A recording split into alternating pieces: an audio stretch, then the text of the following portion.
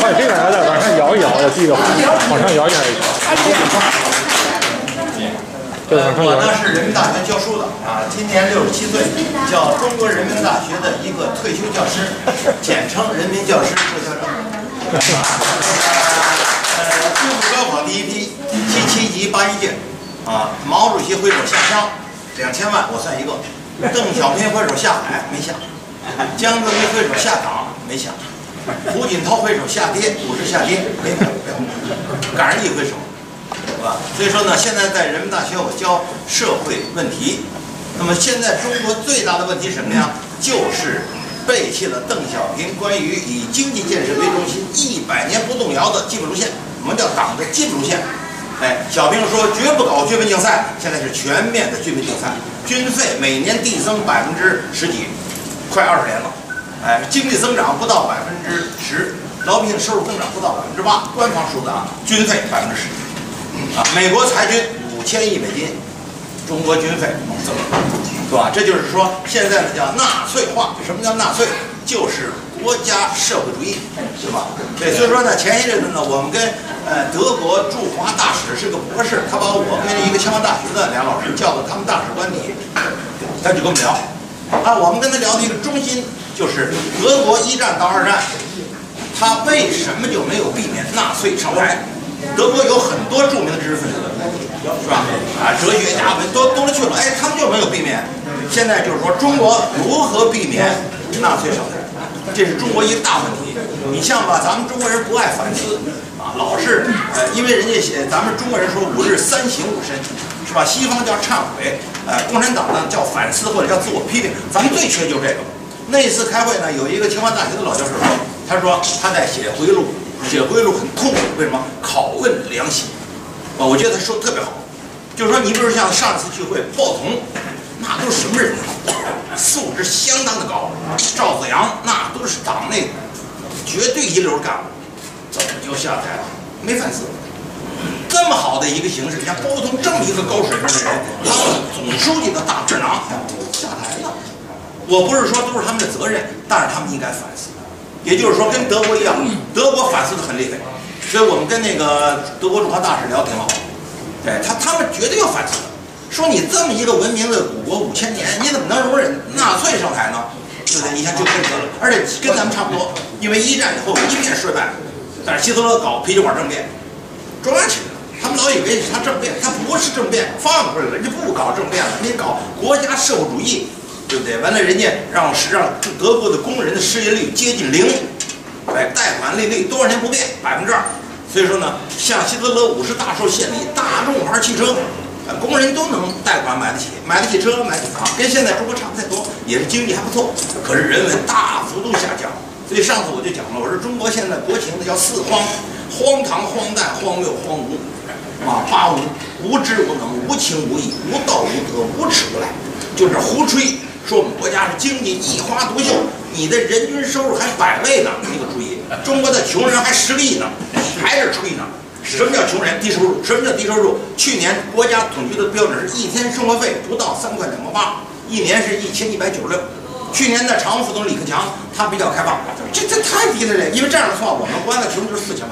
他说涨成一天一美金，那就是六块三了，一家伙贫困人口妈的一点五亿了。到了联联国说我们涨了，我们现在是涨的是一天两美元，麻烦了，是吧？后来人欧盟说我们是五美元，五美元六块三乘以五就是三十一块五，一天没有三十多块钱，一个月没有一千块钱人民币，一年没有十二，没有一万二，你不是穷人你是什么？按照这个标准，中国是十亿穷人。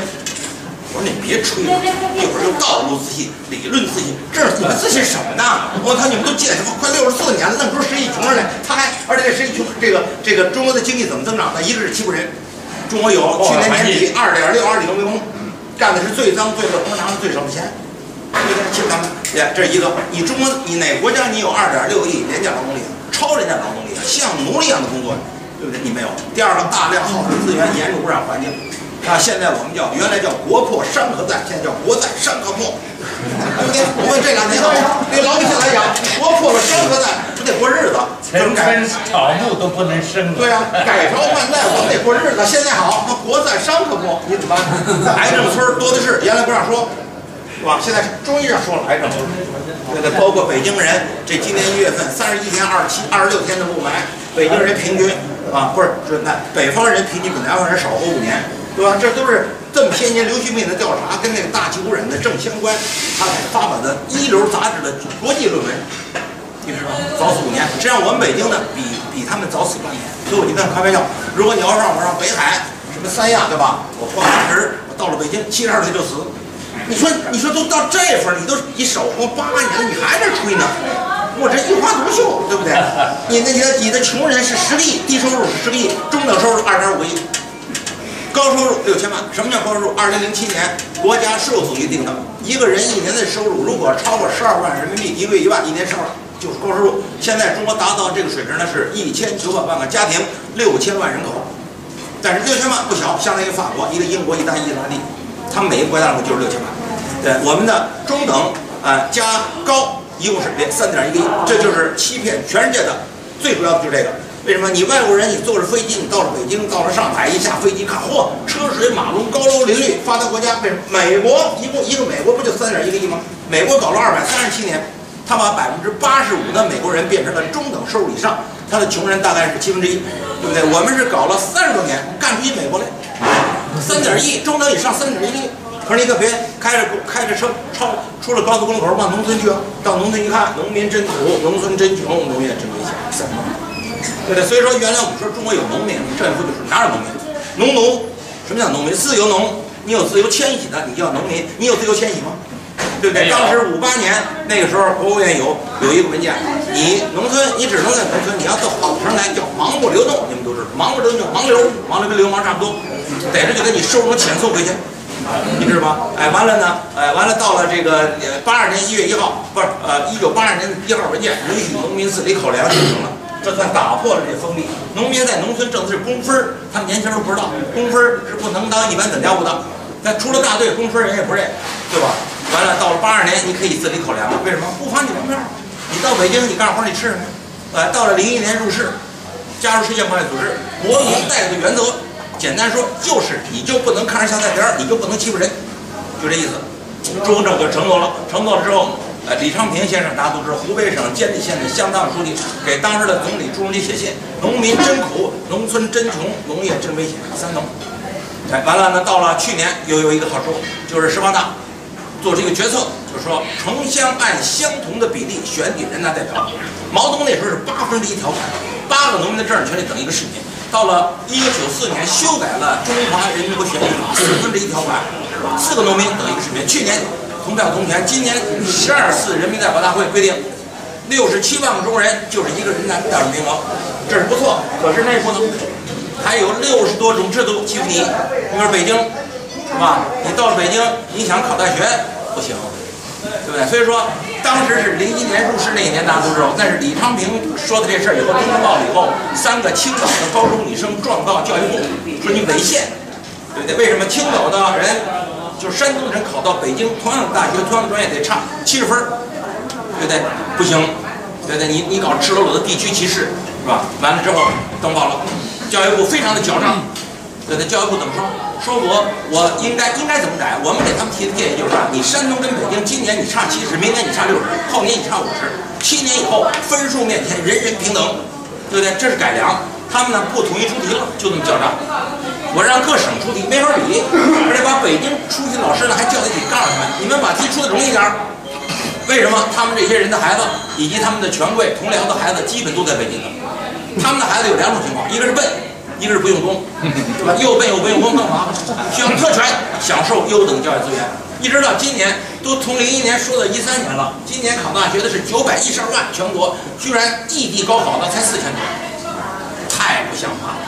所以异地高考啊，就是说人家打工的时候，人家到三十多年到北京了，人家在北京生的孩子，孩子小学、中学到了十八九到考高中回去，不能在北京考。就这种欺负人，到今天还有六十八人。这是一个民主党派。在人民代表大会上搞一个报告，就是细党，对不对？包括北京，不许在北京买汽车啊！你只要不在北京待五年，你就不许买汽车，不许买商品房。那汽车和商品、商品房那都是商品，商品是一般，你就你只要有货币，一般等价物，你就可以买。破坏完了，三个律师状告北京政府反搞分裂，你这统一的社会主义市场，你凭什么还得在你这待五年才能买商品？你得想想，结果上面说，不受理，你没法受理啊。北京市开造车，原来还没有这个，这是最近这几年，你明白吧？所以说中国呢，居然上面说不许说公民社会反动透顶，有人说那不是左派，那是反动派。反理性派，哎，对，他是他不是左派，左派怕什么？他是他是这个反动派，居然不让说公民社会，对不对？那不就是八民吗？草民、小民、刁民、暴民、渔民，最多说你是农民、市民、居民。我们的任务就是把这八民慢慢的让他们变成两民，一个是公民，自由和负责任；一个是国民，国民就是零一年入世，国民待遇，对不对？但是这个事情呢还很长。所以中国是一个老大的帝国，要想把这八民变成两民，非常不容易。其实我们每天做的工作就是这工作，天天给讲课讲什么呀？就是让他们由八民慢慢变成两民，变成公民和不公民。好，谢谢大家，我就说这儿。周教授是研究社会学的专家，啊，大家有问题给他请教。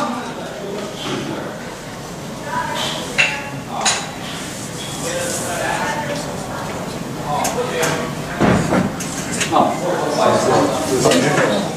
阿弥陀，周教授，我想请教一下，中国的经济是将来会硬着陆还是软着陆呢？我认，呃，我认为硬着陆好于软着陆，像俄罗斯一样，硬着陆可以解决负资产问题，呃，把国营企业，呃，落实到私人手上，真正走上走上呃市场经济的道路。你认为这样可行吗？在目前中国？你说这事儿就是说，因为中国这公司啊是法的，你不是说谁是法？我是说国营企业那个。国营企业是最大的私啊，你得想想。那那国营企业，你以为它代表谁吗？那是一个用吴金莲的话叫亲朋好友资本主义、裙带资本主义、官僚买办资本主义、权贵资本主义，是资本主义那个最坏的，就现在。对，你资本主义，你就你要说你资本主义，资本主义别别跟比你好多了。是吧？你更别跟社会主义沾边儿，你怎么是社会主义？对不对？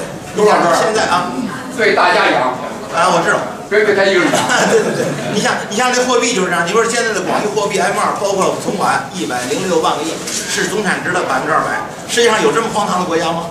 人家美国总产值的百分之七十是货币，我们是总产值百分之二百，这不就是他说这个，就是掠夺你啊，超级盗贼呀！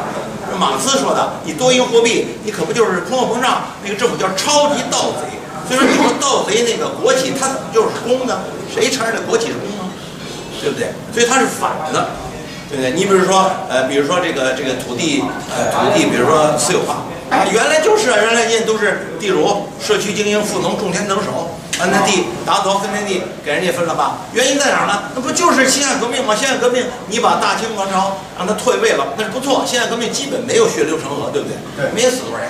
那么大清王朝退位了，中华民国政府跟他有协议，是吧？皇上你们家还住着呢，故宫那是他们家，二百六十八年合法政府，那人家家让人住着吧，来一老爷们儿给人弄走了。但是不是说他是一个人，是这思潮，从法国什么雅各宾，什么巴什么什么巴黎公社，啊，这种思潮传到俄罗斯，俄罗斯更狠，完了这红的就跑中国来了，这不他就是这种思潮吗？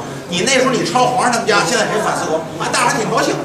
看抄了皇上他们家，我我皇上他们家成故宫博物院了，对不对？前脚抄皇上他们家，后脚抄你们家地富，所谓地富杀掉二百万，是吧？把人富农，把人家地主那地都给分了，啊，你你也不是地主，你也是富农，你还高兴呢？高兴吧？哎，你分他两亩地，你当他两间房，高兴。到今天抄你们家，你知道今天一天一万个人失去自己的家园，一天几百万，是吧？先用先用这个这个这个什么？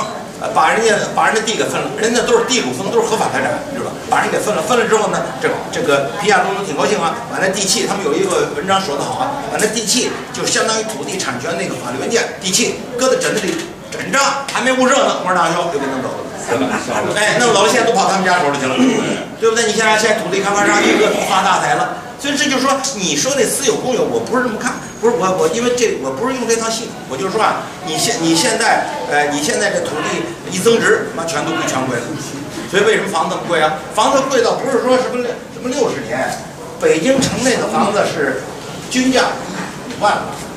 哎，如果一对农民要想呃种三亩地，一亩地六百六十平方米是吧？他们这一对农民种三亩地打粮食，一斤粮食按均价，亩产按均价，卖粮食买房三千年，从秦始皇种都来不及，你得多方面种，还不吃不喝。一个小姐要想卖淫，一天卖两回，一回二百。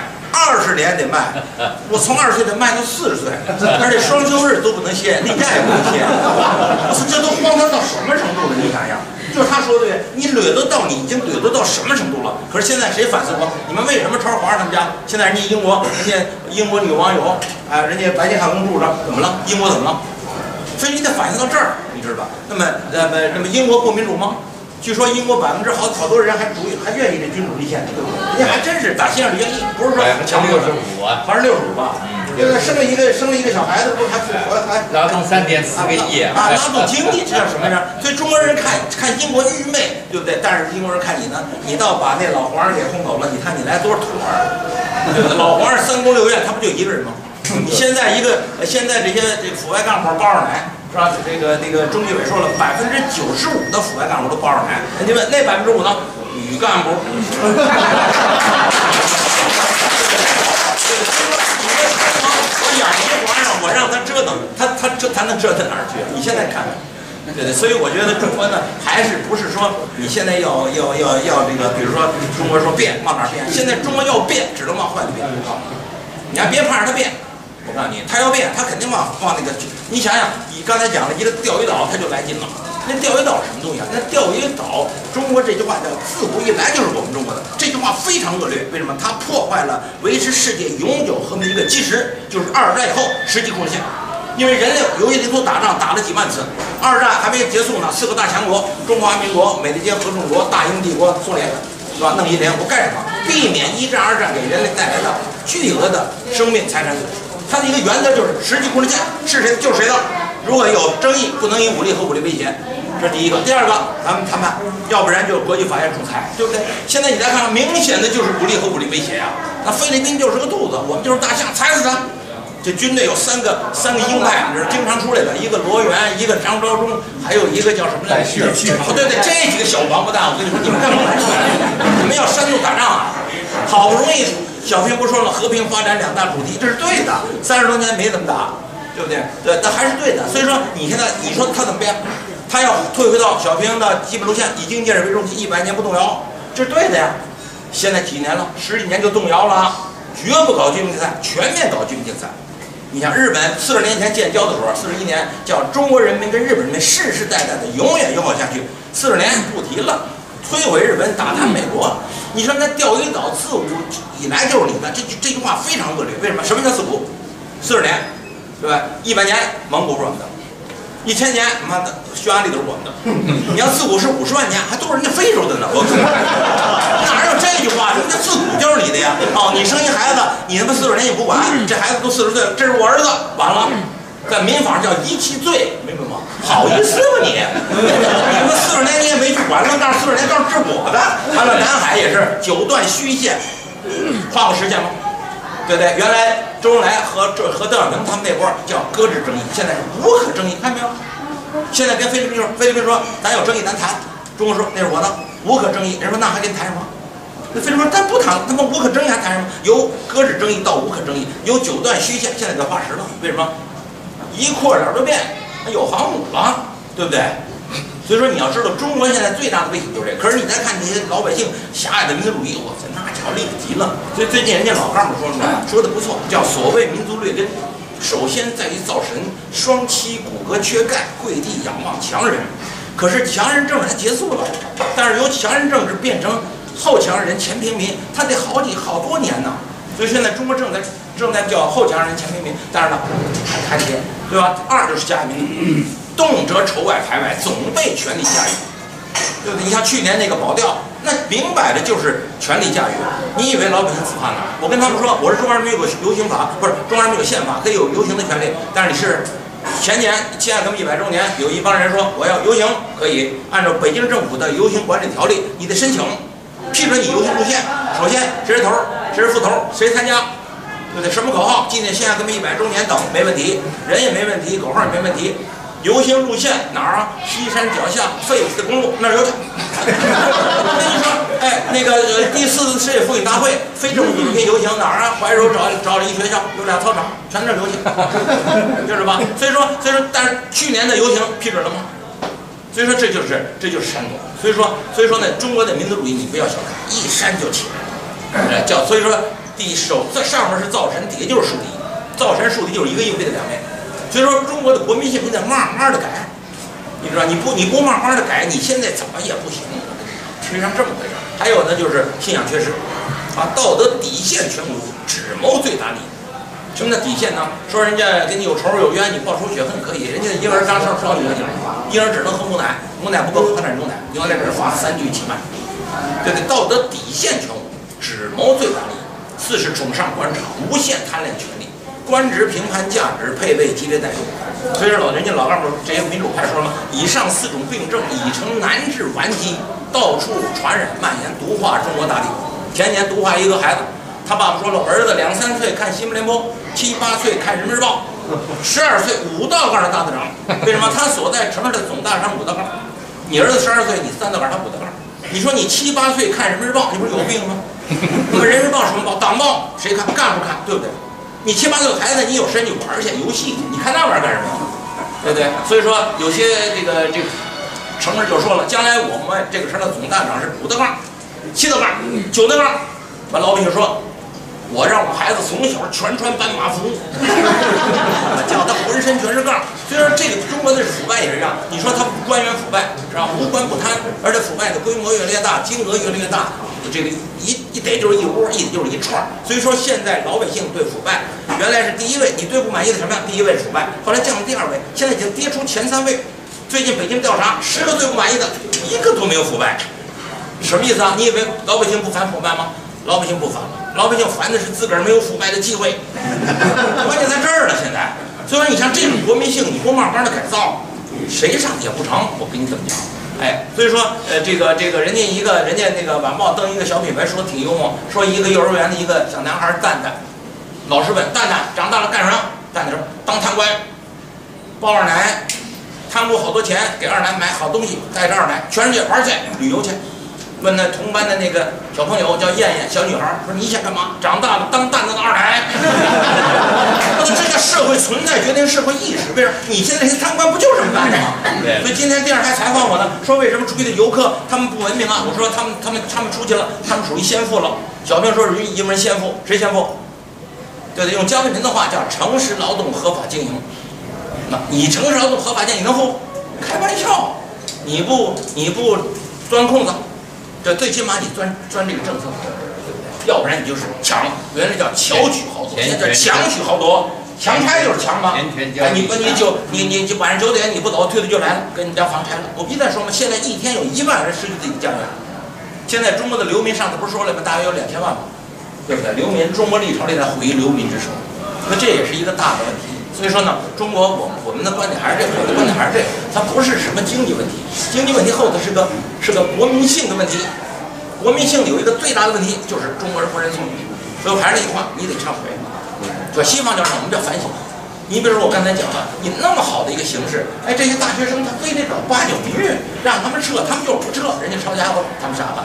他们要他们想到人家抄家伙吗？估计他们想不到。当时我我们都是大学老师，他他蒋军不打老百姓，我就跟他说不打老百姓打谁？我这话他们都不明白。我说解放军不打老百姓打谁？我就问你，解放军是什么人？是统治阶级的工具，是无产阶级专政的工具，是国家机器。我说你是统治的还是被统治？你先说清楚。在体在体育的哪儿？你是你是裁判员还是还是运动员？大学生、北大的学生都糊涂，他们以为他们就是裁判员。我说我告诉你，裁判员是谁？总裁判长是谁？邓小平说你是。你是你是学生，你就是学生。一马脸说你是暴徒，你就是暴徒。你说我不服不服，红牌罚下。他连这都不知道，而且怎么政权怎么来的？你打吗？他不就是暴力吗？你得想想吗？对不对？所以说他们都不明白这事儿。